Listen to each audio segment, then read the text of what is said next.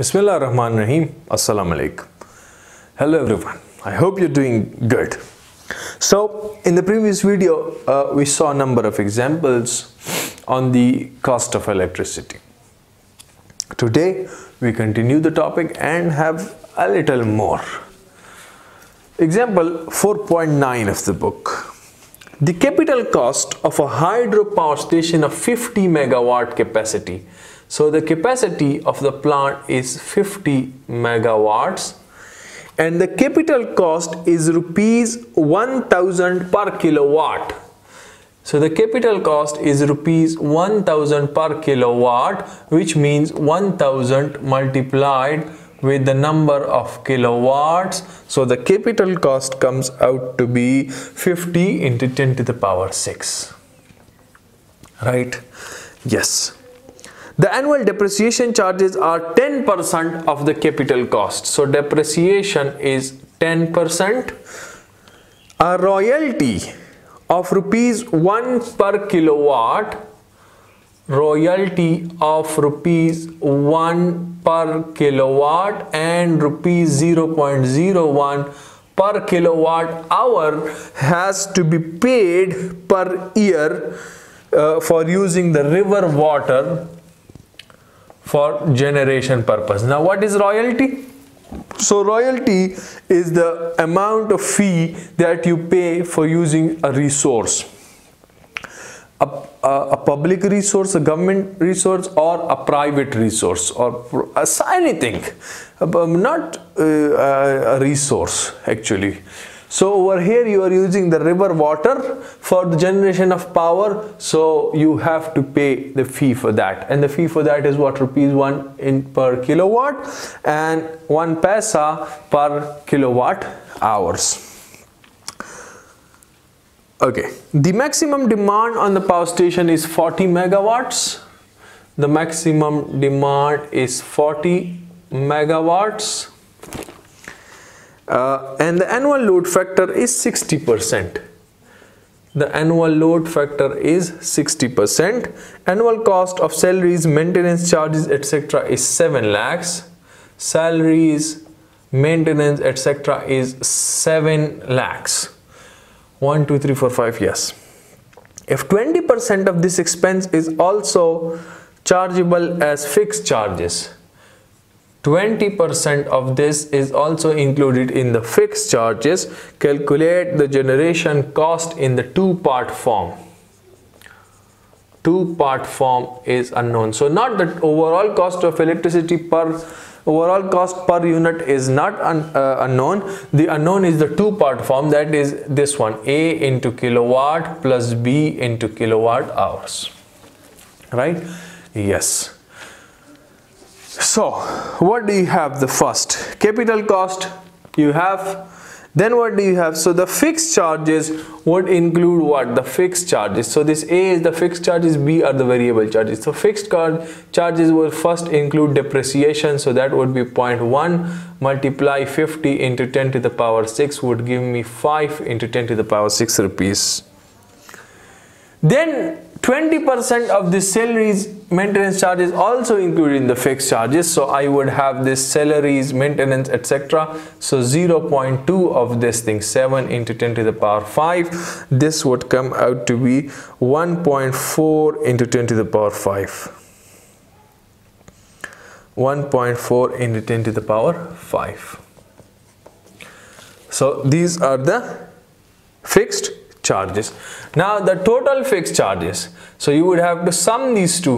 So the fixed cost would be the sum of these two. So uh, 5 into 10 to the power 6 plus 1.4 into 10 to the power 5. So this comes out to be 51.4 into 10 to the power 5. Now this is the fixed part. But we are basically interested in the cost per kilowatt. This a is the cost per kilowatt. So this would be what? The total fixed cost that is 51.4 into 10 to the power 5 divided by the maximum demand that is 40 into 10 to the power 3 and plus rupees 1 and this rupees 1 is from this royalty because this is 1 per kilowatt right? Yes so do the calculations. This comes out to be rupees 129.5 so this is basically representing your a which is the cost per kilowatt. Then the variable cost would include what? 20% are included in the fixed charge. So the remaining 80% you will include in the variable part or the running cost. So that would be 5.6 into 10 to the power 5. 5.6 into 10 to the power 5. This is the variable cost.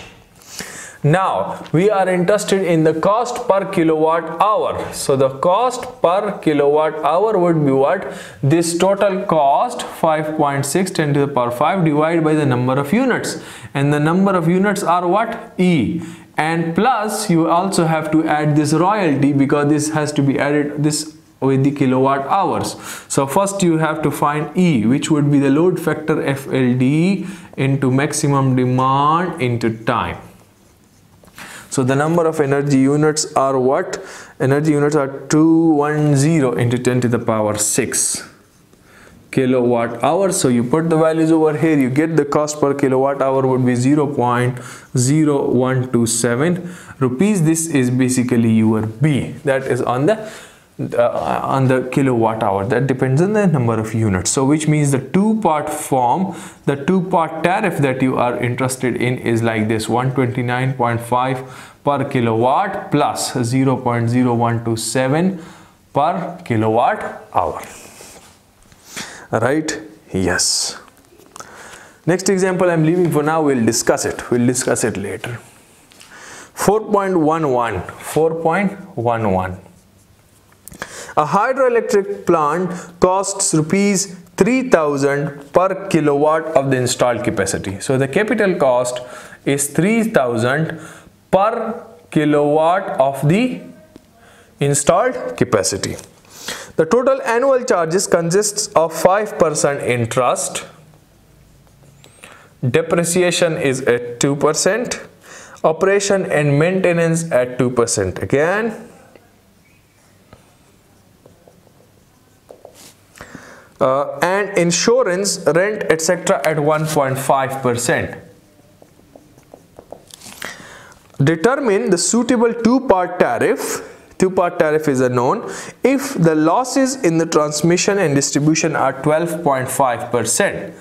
Losses are 12.5% and the diversity of the load is 1.25 which means the diversity factor is 1.25 assume the maximum demand on the station pm is 80 percent.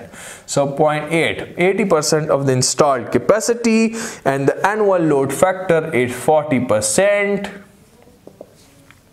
What is the overall cost of generation per kilowatt hour? So cost of electricity per unit is also unknown and the two part form is also unknown.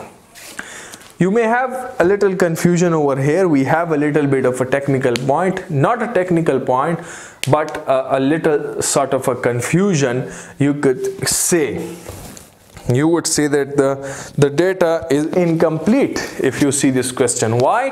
Because the installed capacity is not given, the maximum demand is not given. So how do you proceed with this? You, you have this question in your examination and you will raise your hand directly and you will ask your teacher that the question is incorrect, the data is incomplete. But scientific calculations engineering problems assumptions are most welcome. So the major thing that we need is the installed capacity and then the installed capacity can be taken into uh, uh, taken equal to the maximum demand as well. So over here if the installed capacity is not given so i will go with an assumption that say the installed capacity. So i would consider some value of the installed capacity. The book has it as 100 kilowatts, so we will go according to the book. Okay, yes sir. So installed capacity is 100 kilowatt. So then you could say what? That the maximum demand would be 0.8 of 100, so that would be 80 kilowatts. right yes and also the average demand so the average demand would be from the uh, load factor definition. Again the average demand P average would come out to be 80 multiplied by 0.4 so this would come out so because the load factor is the average demand over the maximum demand right? So uh, average demand is the maximum demand into load factor so this comes out to be 32 kilowatts capital cost of the plant so the capital cost of the plant is 3000 per kilowatt so the capital cost would be 3000 multiplied by 100 so that would be 3 into 10 to the power 5 that would be 3 into 10 to the power 5 isn't it like this?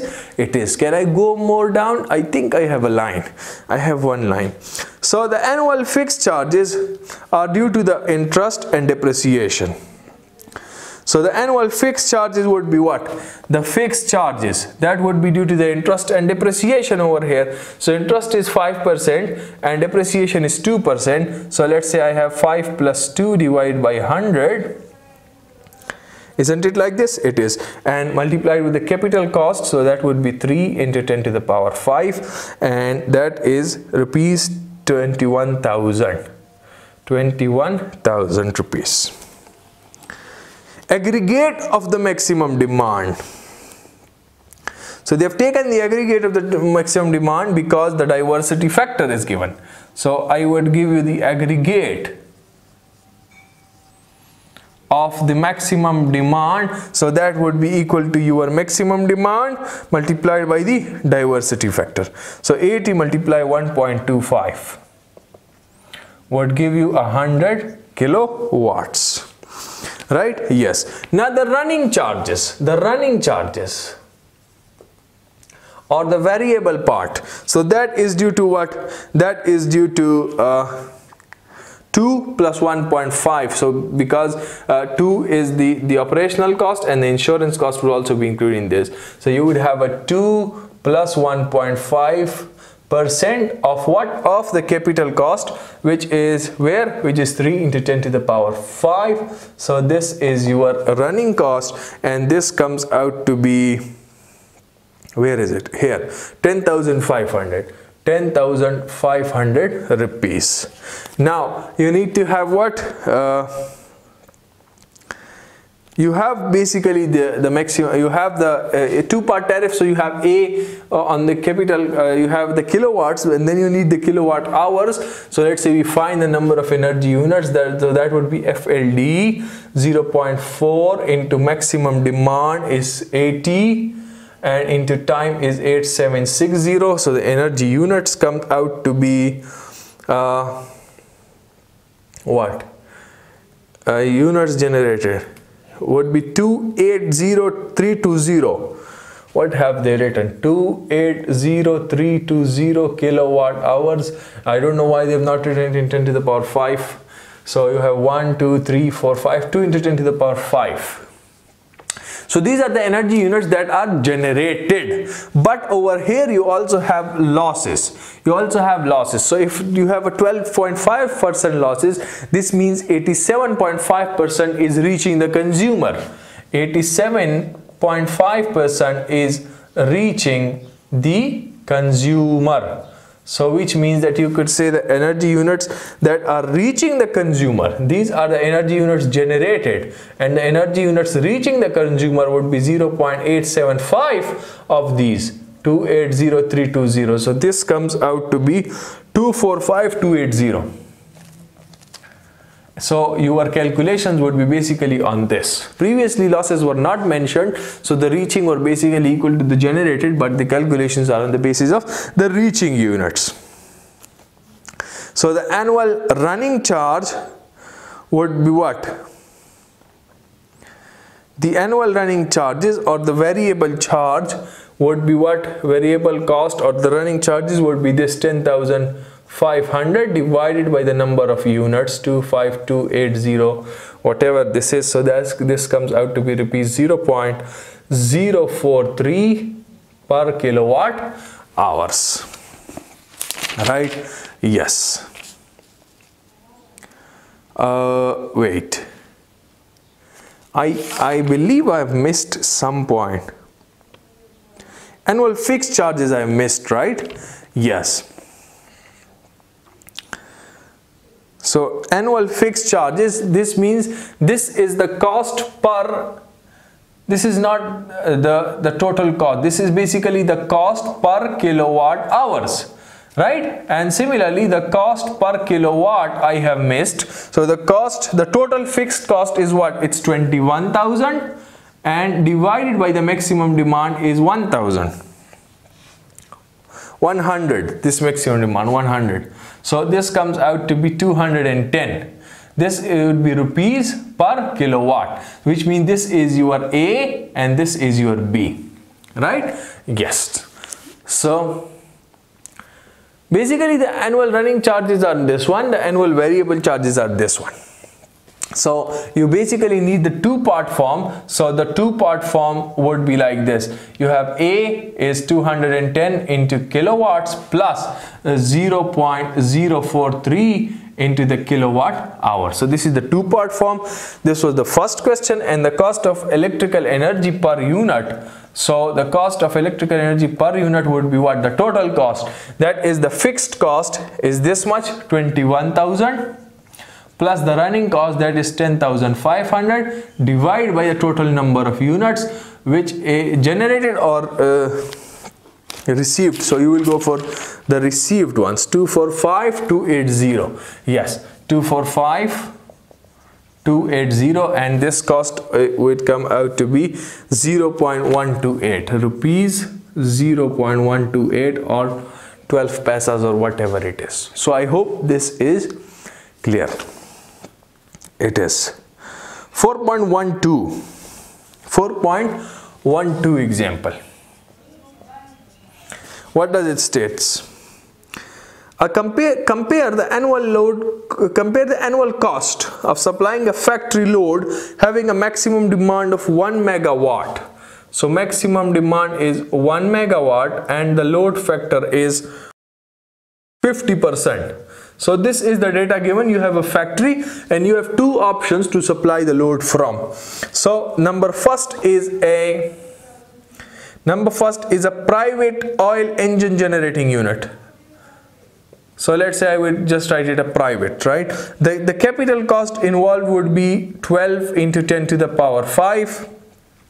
Then you have cost of repair and uh, maintenance. Repair and maintenance. Would be what? Would be 0 0.05 double zero five. Zero point double zero five per kilowatt hour generated.